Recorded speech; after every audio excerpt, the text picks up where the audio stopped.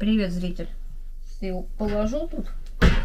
Я приехала, и как это, вот что-то мне ткнулось сразу в первый же день записать тебе в Мунбанк. У меня тут ужин. Я как-то не врубаюсь, как я в прошлый раз делала, чтобы у меня и голову не срезала, и еду было видно. И что-то мне так приспичило шпрот. Мне ночью приснилось, что я хочу шпрот. И перед тем, как засыпать, мне тоже что-то э, прям вкус шпрот чувствовался. Я купила шпроты, правда, тут уже это крышечка, ну, в смысле, шпроты в масле из балтийской кильки. Торговая марка знак качества. Я только сейчас поняла, что тут рыбка нарисована. Я уже эту бумажечку с нее сняла, чтобы посмотреть срок годности. У меня еще этого же знака килька в томате. Магните сегодня купила. Еще вчера хотела купить, но, точнее, позавчера. Я была по скидке. Но мне почему-то ее пробили без скидки. Видела уже потом. Скандалить не стала, думаю, хрен с вами. Точнее, хрен с той макакой, которая она... Та баба, которая мне периодически как-то пытается меня наколоть. Как-то она мне пробила конфеты, которых вообще не было. Ни в товарах, нигде. Говорит, ну и ладно, я вам пробила конфеты. Я говорю, ну, говорю, это как-то... Или, говорю, вычтите с меня эти конфеты, которые вы мне пробили, которых у меня нет. Или что? Ну, подумаешь, я вас там где-то обманула на сколько-то так. Ну, такая. Не будем имя называть. А, но оно рифмуется словом, со словом крыса, ее имя. Так вот этот. Купила кирку сегодня. Еще в такой же баночке, ну, в смысле, такой же фирмы. В томате. Она была по 69 с копейками. Но пробилась мне по 99 с копейками. Короче, было 70 без копейки. А списали с меня 100 без копейки.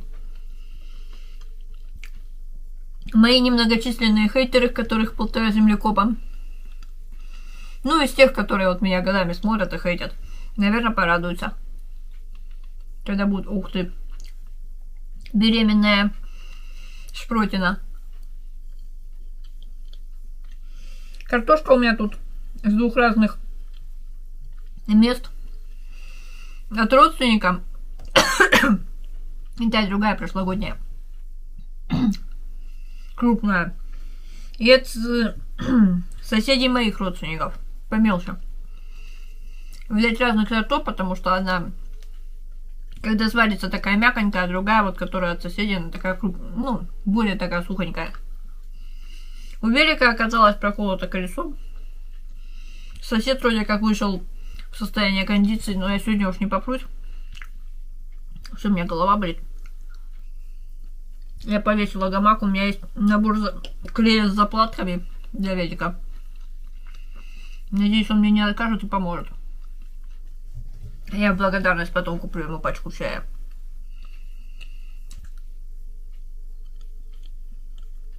Забыла в этот раз купить на всякий случай. Ехала сюда с тележкой, кошкой и рюкзаком. В тележке была еда. Заколебалась, а минут 15, наверное, шла по траве по Галкинской усадьбе.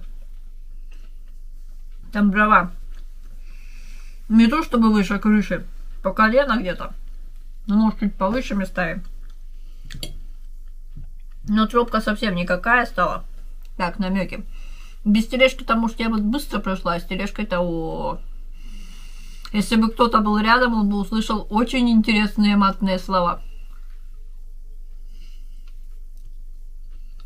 Хотя те, кого я поминала, наверное, икали или чихали, или уши у них чесались. Что обычно делается у людей, когда их вспоминают?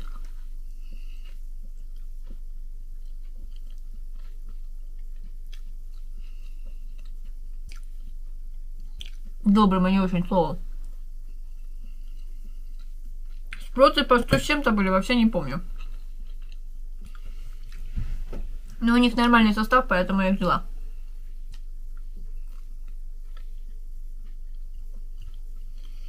У нас тут э, товарищи, которые разжигают костры рядом с домом в полуметре от дома, и забывают потушить сигарету, куря на дворе в деревянном доме. А потом, ой, нас кто-то подпалил. Это не мы, это оно само. По слухам решили тут построить заново дом. Пока что это выглядит как э, памятник народу. Печина. Я, правда, не очень в курсе, не уверена, что э, правильно ли называть э, голую печку на основании частично древесном печиной. Я сфоткала, выглядит это реально как вот монумент такой.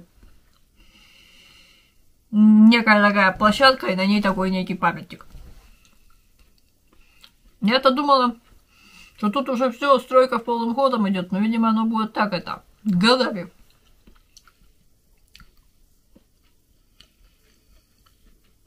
Ибо дом-то сгорел как бы еще зимой.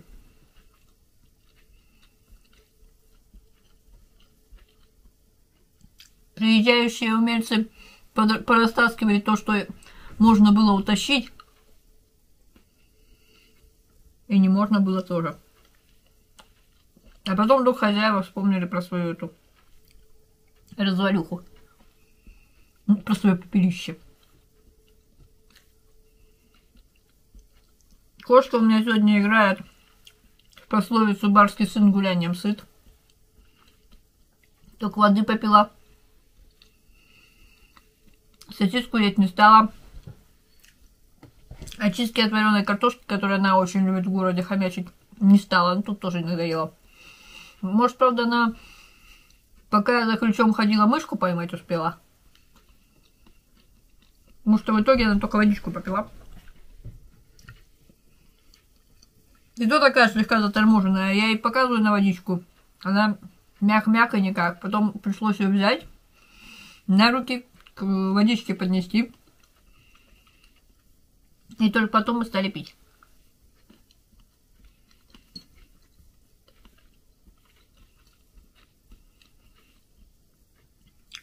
У меня тут все заросло.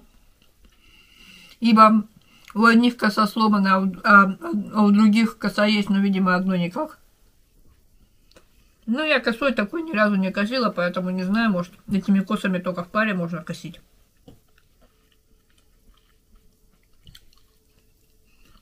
Из-за этого то, что заросло в некоторых местах цветет, и подходя к дому, мне казалось, что рой слетел. Похоже, шум был. На самом деле это просто пчелы работают, и они вот прям сидят на всех этих зацветших растениях. И, на мое счастье, жасминчик еще цветет. Учитывая, что он у нас где-то на 90% вымерз в этом году. А те 10, что остались, а местами только с цветочками. Блин, я хотела есть походу. У меня там планшет лежит, с которого я управляла.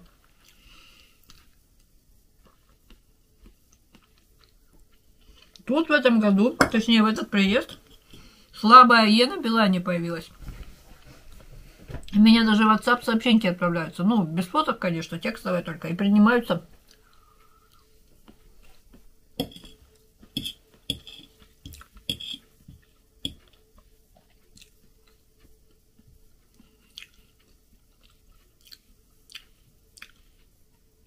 Мегафон не перегорел, у меня как-то с Билайна так пошло. Круто будет, если 4G у колодца вечером поймается на мегафоне. Как-то пару раз, ну такое совсем слабенькое нас на несколько, даже на несколько секунд скорее, или на пару минут было. Напротив дома в районе гамака ловилась на мегафоне. И один раз даже на окне вот на этом прошлый пресс. Я гамак повесила. А эти синички у нас, оказывается, свели гнездо наверху. Ну да, я видела гнездо, оказывается, это синички. И там, где они до этого были, ну, близкий родственник, когда приезжал, ходил через двор. Потому что эти сказочные животные сидят на крыльце. Ну, в смысле, синичка. И я через двор ходила. У меня тут волшебный фонарик есть. Прикинь, зритель, я покупала его, я даже не знала, думаю, для чего вот эта кнопка, для красоты что ли. Нажала на нее, он засветился. Тут он, как это, ну, солнечная батарея, можно заряжать от сети, можно заряжать от USB какого-нибудь аккумулятора или просто... Вот. Причем он горит как бы и там, и там, если что. Во. Прикольно так. То бишь я покупала, чтобы вот такая лампочка была. Даже не знала, что вот тут на жопе лампочка. Я вообще не разглядела, только сегодня обратила внимание, когда достала и вот за ручку можно понести. Что-то около 400 рублей. У меня сейчас тут уже не загрузится этот... Как его звать? Озон, чтобы сказать тебе, почем кайф. Может, когда буду монтировать... Ну нет, скорее, когда буду на канал заливать. В комменте оставлю артикул к этому фонарику, потому что когда буду монтировать, как я буду... Как я смогу при монтаже с отсутствием интернета загрузить алон. У меня там еще несколько картошинок осталось на сковороде. В общем, короче, я очи... ну, сварила в очишках на плитке. Большую часть очистила, там две картошины осталось. Меня подсолнечном масле пожарила. Тоже на плитке. Ну что, дома 18 градусов, на улице 25. Причем 25 стало вот буквально пару часов назад, до этого было 24. К вечеру как-то так теплее. И печку как бы топить не с руки. Ну, когда тепло, печку не топят. Она не разгорается, не затапливается. Не, может где-то затапливается, не знаю, потому что выдала бабулька, ну, женщина, которая, я молочку покупаю,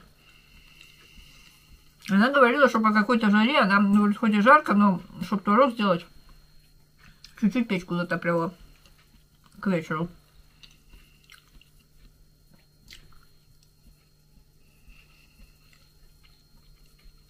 Вообще это с детства пошло. Сколько я помню, в детстве было, если ну, типа, тепло, то печку не, не, не, топ, не топят печку.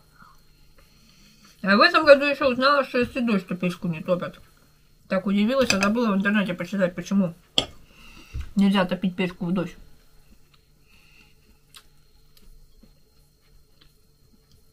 То есть перед дождем ее нельзя топить. Ну, можно топить перед дождем, а когда он начался, то топить нельзя. Я вот думаю, а как же тогда было в детстве, вот там придешь, все мокрое, печка протопленная, и мне все сохнет.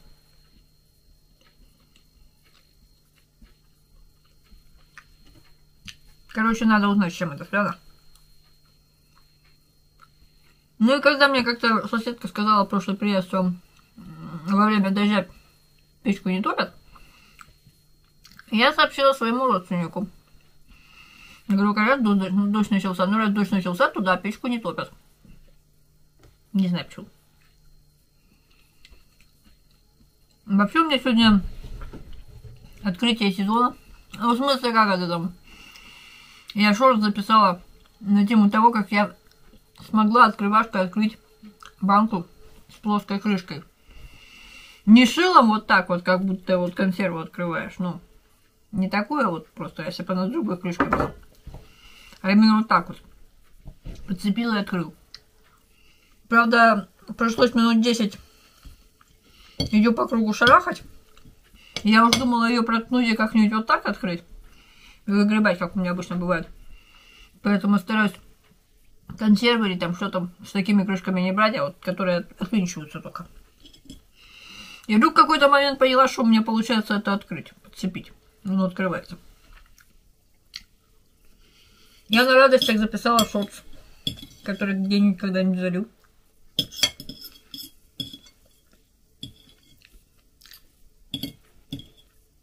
Я же взяла хлебушка. Тут какие-то такие маленькие кусочки картошинки.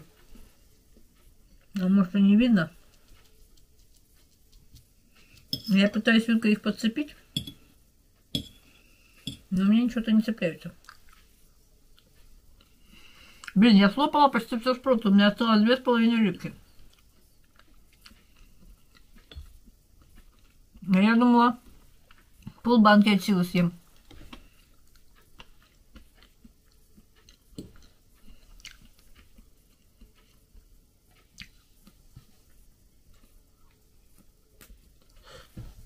Маслица, маслица, маслица. Где-то полплаточек.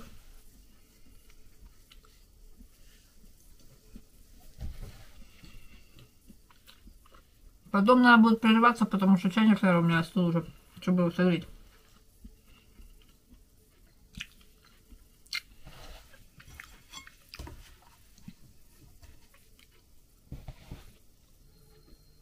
А я, может, и не остыл, но все равно надо будет прерываться, потому что надо хоть глянуть температуру на этом чайнике. У меня же кипертовский чайник здесь с этим самым, с термометром на нем.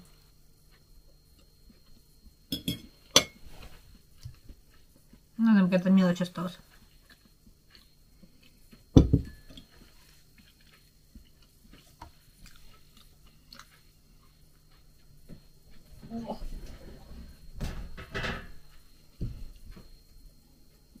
Я что-то нажала, она мне говорит, слишком широкая рамка. 16 минут я тут хомячила.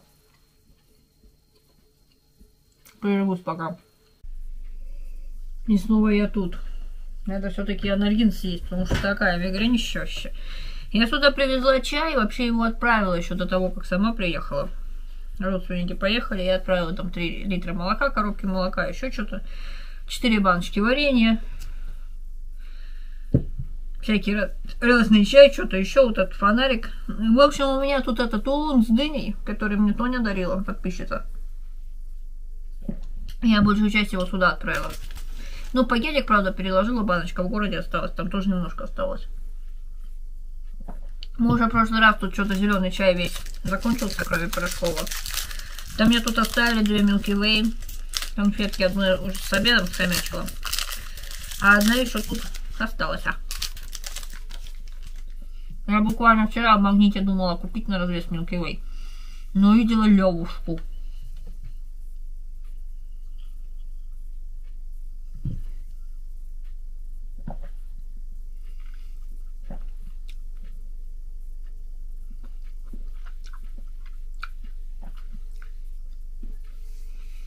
Так и не почитала об особенностях настроек разных записей DJI. Думала, утром сегодня почитаю и поеду на вечернем. Но что-то несколько раз так в нищу просыпалась, что поняла, что лучше встать и поехать на набережную. Еще что-то мой дедушка мне приснился. Мне кажется, он вообще впервые мне так снится.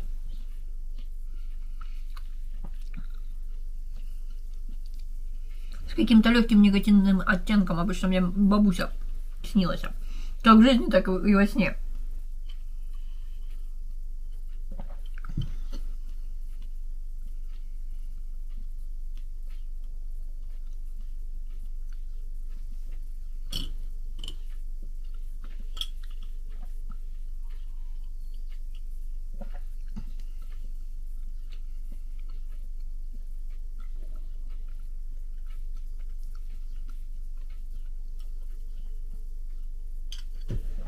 Я сыворотку сегодня с собой захватила.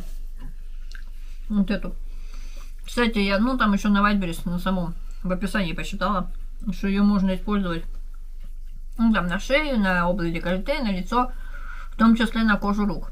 Вот сегодня вымыла руки и искала крем, ну, вспомнила, что у меня тут крем две штуки есть, а потом думаю, блин, можно же сывороткой помазаться так, интересно ради. У меня оказалось где-то вот уже одна треть уюзанная.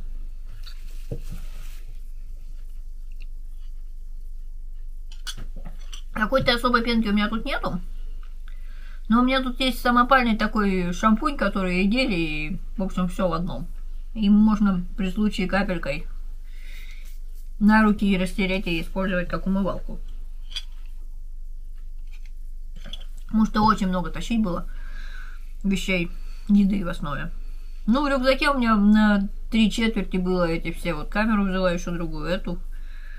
э, штат, ну, мелкий штатив, который вот аккумулятор, планшет, там еще что-то. Хлеб в итоге еще поверху. Хотела взять с собой обезьянку, чтобы она тут была такая обезьянка. Одна обезьянка ускакала все время в Японию, другая обезьянка у меня. Одинаковые. Ну, что-то в итоге подумала, что и так-то дофига, думаю, нахрен. Можно и без обезьянок.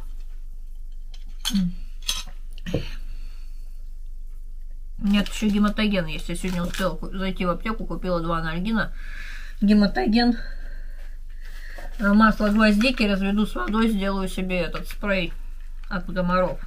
Потому что в прошлый приезд еще вспомнила, лежа на гамаке, что раньше был одеколон гвоздичный, и нас дедушка в детстве, ну, вот меня с сестрами мазал им, и как бы это, комары не кусали. Думаю, можно ведь купить гвоздичное масло и делать примерно то же самое. Раз водой только разбавить. Фух. Еще резиночку купила две штуки по 8 рублей. Там у нас есть такой магазин. Не знаю, карту он принимает или нет. По большей части наличка. Небольшое помещение, там же, где магнит, вот слева по борту. Там много всего-всего-всего. И вот резиночки в том числе там были. Я что-то так думаю, блин, давно уже месяца два собираюсь купить резиночку где-нибудь. Зашла по пути, думаю, есть, наверное, спросила, есть. Самые обычные. Взяла две штуки. 16 рублей. Вот. Сейчас я, наверное, прервусь с тобой, зритель. Пойду анальгин пить, потому что писец голова болит. Я даже только одну чашку выпила. Я потом еще пару чашек выпила. Но вот она тянуться через камеру за этим. За чайником можно, конечно, поставить на паузу, но мне что-то уже лениво. Голова, потому что еще сильнее становится болеть. Поэтому, зритель, я надеюсь, ты со мной пожрал. Это был мой ужин деревенский первого дня приезда с Третий, первый день третьего приезда этого лета. Ну, правда, еще и май придет. Ну, вообще, этого деревенского, этого дачного сезона. Всем спасибо. Если хотите поддержать канал, где-то тут вот облачко, или тут, или тут. Э, еще есть ссылочка в инфобоксе. Если хотите э, что-то еще, можете дать знать в комментах. Поставлю сердечко. И всем пока. Ох. Ух ты, блин, тут еще какие-то настройки можно изменить. Так, а у меня микрофон-то только на меня был направлен, да? Я тут попрощалась, еще что-то говорю. Да, микрофон спереди. Ну, все нормально, он как раз спереди. Пока. Спасибо за просмотр.